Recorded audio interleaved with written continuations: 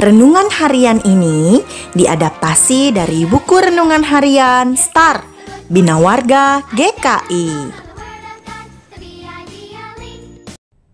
Kisah para Rasul 1 ayat 8 Tetapi kamu akan menerima kuasa kalau roh kudus turun ke atas kamu Dan kamu akan menjadi saksiku di Yerusalem dan di seluruh Yudea dan Samaria dan sampai ke ujung bumi. Kebetulan, kebetulan.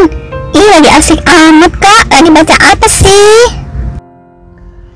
Eh, Tari, kakak lagi baca tentang Bapak Frumentius, misionaris yang telah memberitakan kabar Injil sukacita dari Tuhan Yesus kepada orang-orang di Ethiopia. Pada tahun 300, ada seorang pemuda bernama Frumentius yang berasal dari Tirus, Libanon. Ia bersama temannya dikirim untuk tinggal bersama seorang guru filsafat dan mengenyam pendidikan di sana. Suatu hari, sang guru memutuskan untuk berkeliling dunia bersama kedua muridnya ini. Namun, di tengah perjalanan, kapal mereka karam di dekat Ethiopia penduduk asli tempat itu menyerang dan menewaskan para penumpang kapal.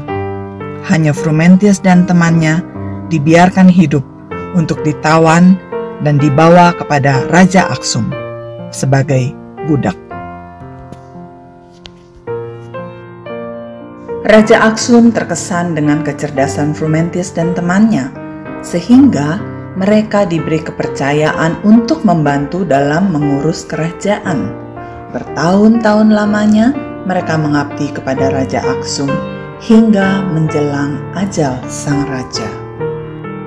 Sebelum wafat, raja memberikan kemerdekaan kepada keduanya untuk bebas kembali ke negara mereka. Namun, mereka diminta sang ratu untuk tetap membantu urusan kerajaan dan mendidik putra mahkota Ezana yang masih sangat muda. Setelah Ezana siap memerintah sebagai raja, Frumentius dan temannya dipersilahkan ratu untuk kembali ke negara mereka. Bukannya langsung kembali ke Tirus, negara asalnya, Frumentius malahan pergi ke Alexandria, Mesir. Ia meminta pihak gereja di sana untuk mengirimkan misionaris ke Aksum. Ia rindu bangsa Ethiopia pun dapat percaya kepada Tuhan Yesus dan diselamatkan. Namun, pihak gereja meyakini bahwa Frumentiuslah yang paling tepat untuk melakukan tugas pekabaran Injil di sana. Frumentius diutus sebagai misionaris pertama untuk Ethiopia. Melalui pelayanannya, banyak orang di sana menjadi percaya dan mau dibaptis, termasuk Ezena raja mereka. Wah, keren sekali ya, Kak. Bapak Frumentius bisa mengajak raja dan penduduk Ethiopia percaya sama Tuhan Yesus. Tari juga bisa loh seperti Bapak Frumentius membawa banyak bangsa menjadi percaya kepada Tuhan Yesus. Ah, bagaimana bisa kak? Tari kan masih kecil.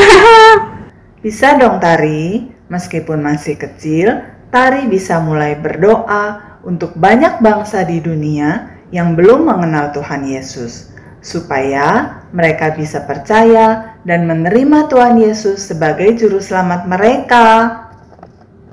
Benar juga ya kak. Yuk kita berdoa kak. Teman-teman di rumah berdoa juga ya.